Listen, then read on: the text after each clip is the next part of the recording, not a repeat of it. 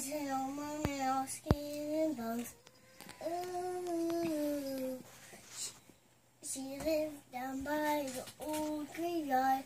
Ooh. She thought she might take a walk.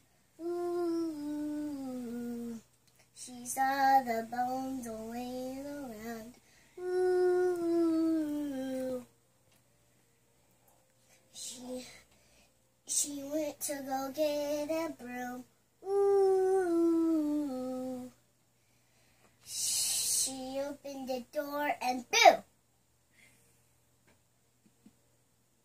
That's the end of it, Daddy. Oh, okay.